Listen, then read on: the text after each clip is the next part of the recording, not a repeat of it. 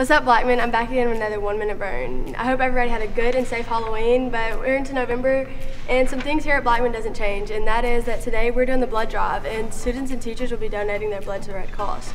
Speaking of drives, Janae Mitchell for our capstone project needs some students to help bring some sleeping bags, jackets, coats, sweaters, and blankets to help send to the Greenhouse Ministries for our project. So please help her out and get our capstone project finished.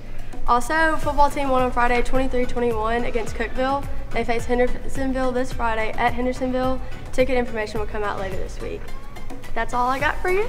And follow us on Twitter and subscribe to our BSPN. I'm Victoria Page.